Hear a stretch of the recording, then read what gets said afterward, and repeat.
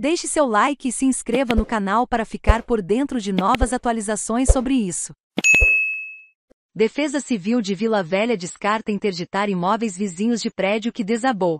Foto. Marla Bermudes. TV Vitória A Defesa Civil de Vila Velha descartou a necessidade de interdição dos imóveis, que ficam próximos ao prédio de três andares que desabou, na manhã desta quinta-feira, 21, no bairro Cristóvão Colombo, em Vila Velha. Pela manhã, seis imóveis foram desocupados para evitar riscos de novos incidentes. De acordo com o coordenador da Defesa Civil do município, os engenheiros da prefeitura já estiveram nos imóveis desocupados para verificar o risco de incidentes. No momento do acidente, de forma preventiva, nós isolamos seis residências que ficam do lado, nos fundos, o prédio da esquina e os da frente.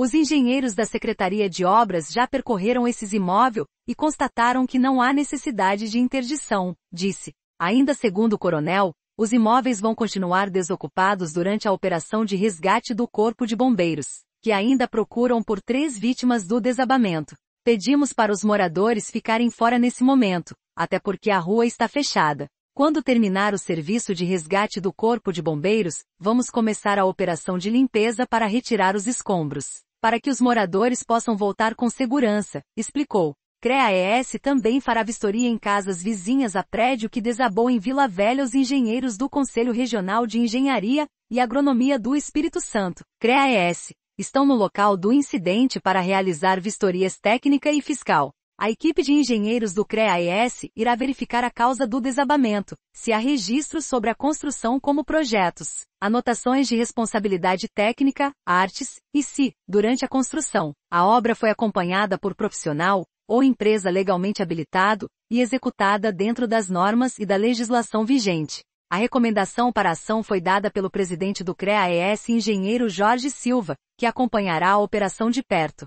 Nossa função é a fiscalização do exercício profissional, mas nossa atuação tem ido além, educando, orientando e contribuindo para a elucidação de incidentes como esse, que tem vitimado a sociedade disse. Vídeo mostra momento que prédio desabou em Vila Velha. O desabamento aconteceu por volta das 7 horas e 15 desta quinta-feira, 21. Um vídeo obtido com exclusividade pelo jornalismo da TV Vitória, Record TV registrou o momento em que ocorre uma explosão e o prédio desaba. O prédio de três andares ficava no bairro Cristóvão Colombo, em Vila Velha. Cinco pessoas, sendo quatro da mesma família, estariam no imóvel no momento do desabamento. Moradores da região contaram que ouviram uma forte explosão e notaram que as janelas estavam quebradas. Quando saíram na rua, viram que o prédio estava completamente destruído. Testemunhas contaram que no primeiro andar do prédio mora um idoso de 68 anos, a filha dele e a neta. No segundo andar, mora outra filha do idoso e a filha dela, que não estava no local.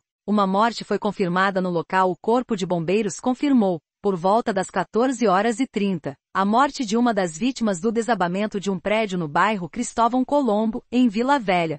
De acordo com o coronel Carlos Wagner, a mulher encontrada sem vida seria Camila Morassuti Cardoso, uma das moradoras do imóvel. Por volta de 12 horas, após mais de quatro horas da operação de resgate, uma das vítimas do desabamento foi socorrida com vida. A vítima resgatada foi identificada como Larissa Morassuti.